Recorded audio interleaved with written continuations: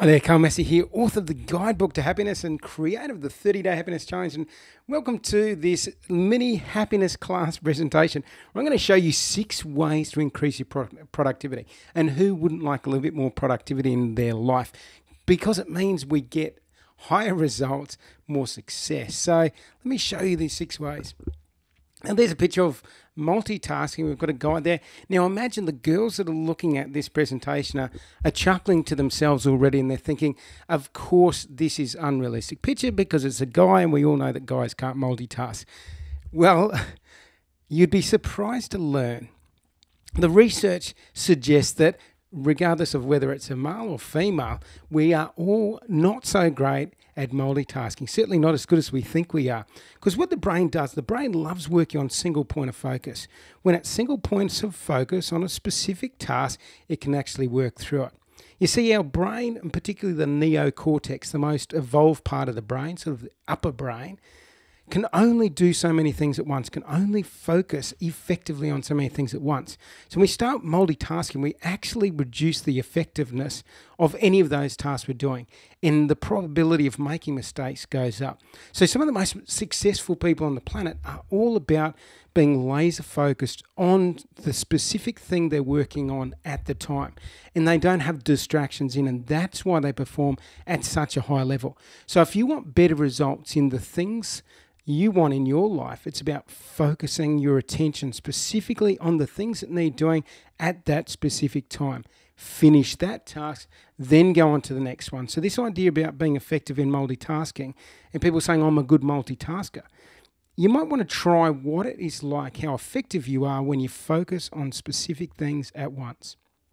Okay, so who am I? Um, Carl Massy, former life Australian Army Major, Olympic Games consultant for about five years. So a strong strategic background, and I've put that together with about 13 or 14 years now of study and research into peak performance, personal growth, the science and art of happiness, uh, positive psychology, social psychology, all of those things, and working in my own practice as an NLP master practitioner, life coach, personal trainer, and hypnotherapist. So I'm sort of coming at this from different angles. So I have that structural perspective with productivity from the army side of things and from the strategic planning side of things with the games, but I'm going to sort of weave in what I've learned about the mind through working with clients and the studies that I've done along the way. So get ready for the ride.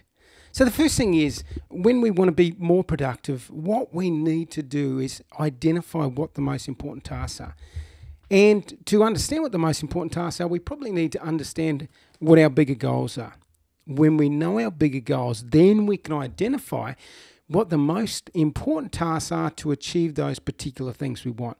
So, if we want to get productive, and this can be on a daily basis, weekly basis, monthly basis, yearly basis. It's about identifying what is most important. Now, let's look at this from the perspective of a day. If I want to be more productive in my day, I want to, at the start of the day, and I generally do a morning routine where it sort of wakes me up. I do some exercise, I do some meditation, I drink a, a green drink, so I'm buzzing. And then I sit down and I look at, okay, the projects I'm working on, what are the most important tasks? And I'll write those down. And it might be 5 to 10 to 15 to 20 tasks. You probably don't want to get up to 20 if you're looking at what you can do in the day. If you're looking at what you can do in the day, you probably want to sit around about five tasks. The next thing, you're looking at those most priority, those most important tasks, and then you're prioritizing them. Not everything is of equal value. You want to look for what has the biggest return on investment. What with you doing something is going to create the greatest level of result and take you even closer to your ultimate goal. So it's about you know using this firing up this brain of yours, firing up this neocortex, this prefrontal lobe, really thinking about what is the most important. And this is one of the the keys to productivity and the keys to getting incredible results. It's being clear about those most important tasks, but then prioritizing them. So you always work on the most important stuff. And that takes us to the next one. You want to work on the number one most important task first. And a lot of times that can be the biggest challenge. So a lot of times we look at that and we go, no, uh, no, I'll do these other things first. I strongly encourage you to tackle the big stuff first, particularly at the start of the day when you're most fresh. You've had a night's sleep, you've had some breakfast, maybe you've uh, you've had a coffee and you're like buzzing, ready to go. Work on the most important stuff first. So, most important task first. The only, only, only, only, only exception I'd make to this is if you are completely stuck. Then maybe you need a task to break that inertia. Maybe then you do a, a smaller task, something that gets you moving, something that gives you a small win. But then, as soon as possible, come back to this number one. This is your primary focus. This is where productivity soars. This is where you outperform others when you focus on doing the most important stuff first.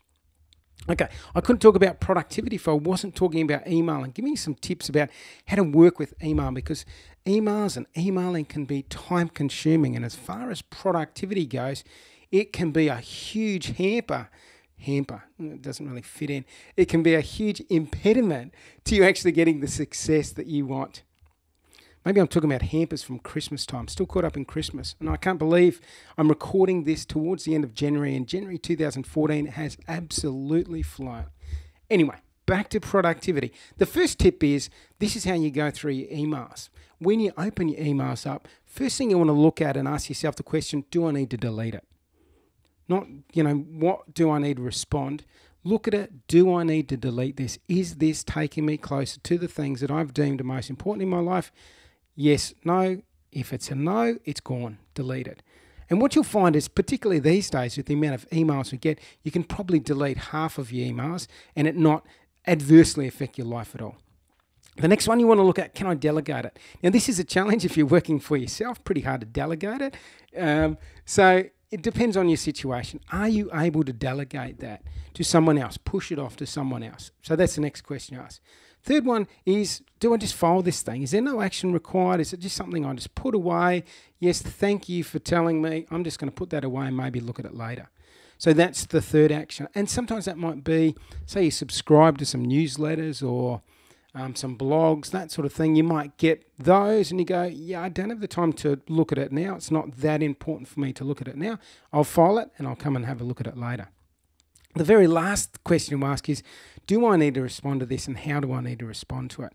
So, really, once you get to that stage, you, you would have culled the majority of your emails. So, you're only responding to the stuff which is important for you and important for taking you in the direction that you want to go. Okay, second tip on emails. This is one that I, I teach in workshops with corporations and that sort of thing. And it's about not checking your emails before you start your most important task. The reason is once you start checking emails, you're actually um, checking on other people's responsibilities or other people's agendas. So most emails that come to you is someone asking something of you, and it may be completely off the path. You want to work on what's most important for you as you've deemed from from looking at your projects, as you've deemed as the most important thing for you, that's what you want to work on, and you want to work on that fast, oh fast, fast. You want to work on that first before you get distracted with emails. Okay, third tip.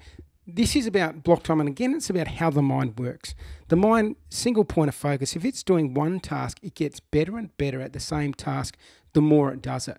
So the more we do emails, as in responding to emails, the better and quicker we get at actually responding to them. So when we start emailing, it might take five minutes for a response. If we keep just you know responding, responding, responding, working our way through our emails, by the time we get into the last emails, our response time might be three minutes, it might be two minutes. We get more efficient at it the more we do it. So what we want to do is we want to block out time specifically working and checking emails. Now, I don't check my emails until midday. And then I check them through the afternoon, mid afternoon, late afternoon. So I actually block out time and I specifically work on emailing at that time because I know it's more efficient and I know I'm less distracted. I don't want to be switching back and forth between tasks because I know that that is not most effective for my brain. If I'm working on emails, go off, do something else, come back to emails, I'm back to that taking five minutes. Whereas if I just stick on emails, I'm winding down the time it takes for me to respond. So this is obviously obviously if you're working in an organization, you need to work that out with people. You need to let people know that you don't check emails to a certain time. And therefore, if they need to get something urgently to you, they either give you a call or they knock on your door. Old school style. So definitely a big thing for productivity. The next one is reducing distractions. I work with a lot of clients uh, in my coaching practice that are concerned about procrastination and and often spend hours and hours wasting their time on things that are unimportant. So one of the first things I do with them is work out their goals. Firstly, what's their purpose in life? And you know, this may take a little bit of um, pulling and prodding to work out what the bigger purpose is. Then we work out what long-term goals, medium-term goals, and short-term goals. And generally, like that triangle represents, there's more short term goals, less medium term goals, and less long term goals. Maybe there's only a couple long term goals. And your purpose is generally a singular thing. Might be a couple of components to it, but you have a singular purpose. And so what comes up is, you know, opportunities come up. If an opportunity is outside of those things that you've deemed important to get you closer to your short, medium, long term and purpose, then you say no. If an opportunity comes up and it's in alignment with what you're working towards, yes. Opportunity comes up outside of what you've deemed important, it just gets a big no. Maybe you pick it up and you put it on the shelf and you say, okay, I'm going to revisit that at the end of the year or at the end of the month to see whether there's any value in following up that opportunity. But generally, this is what happens when someone procrastinates a lot. They're very unclear of what their goals are. And whenever an opportunity comes up, they're distracted by it. So they're pulled all over the place. The high achievers are very clear about what they want to do, very clear about their purpose, very clear about their goals, and only say yes to opportunities that fit underneath that umbrella. And here's the last one the sixth way to improve your productivity is called block time, and it ties in with that idea I talked about with the emailing, where if we work on a singular point of focus, a singular task, we actually get better at it. And the one thing with block time, too, is our productivity is huge when we just focus on this one thing and remove all other distractions. So if you're blocking out time, so you're creating some new products or new product ideas, you want to turn off your email, turn off your phone, close the door, maybe find a separate office, find a meeting room, find a separate room in the house, lock yourself in the closet, whatever it is, but take yourself away so that you have no distraction. When you have no distraction, when you're working in this block time, super productive. You're super productive. This is best for the mind. Only other things I add to that, make sure you're well hydrated, great for the brain, and maybe nibble on some snacks, some healthy snacks, maybe some uh, some raw nuts, for example, good brain food. So that's the thing, you know, blocking out time and just specifically working on that one thing, you'll find your productivity is hugely increased. Rather than doing a little bit here and then a little bit later on and then a little bit later on, block out a big chunk and work specifically on that one task all the way through to completion. Okay, so there you go. Six ways to increase your productivity. If you've got any questions for me about it, jump over to my Facebook page. It's just Carl Massy page, um, and you can ask questions there. I also put in there podcasts that I make up, newsletter articles. So there's a bunch of information that goes onto that Facebook page. So make sure you check that out. The other one is the signature product that I work with, the coaching program that is most effective for the clients I work with and the coaches within World's Biggest Gym is the 30 Day Happiness Challenge. It's six coaching sessions over the course of an integrative online program, highly effective it is fundamentals plus tailored to your individual specific needs with that support all the way. So that's a, a really awesome program. If you want to check that out, just go to www.30dayhappinesschallenge.com and check it out. So, again, if you've got any questions on the ways to increase your productivity or any feedback or suggestions, or you'd like to share this presentation with other people that you think could benefit from it, um, feel free to pass it on. And if you've got any questions, again, just jump onto my Facebook page and you can contact me there, ask away. So, I hope you're having a fantastic day wherever you are. All the best with your productivity moving forward, with the results you get in life, with the success you have in life. Have a fantastic day and take care.